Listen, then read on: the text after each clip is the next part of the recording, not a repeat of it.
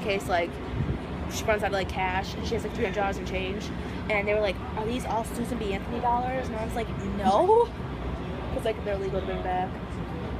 Yeah, no, they're tough sometimes, especially when the buses. Yeah. I didn't have any problems. I guess some of the other buses did this morning.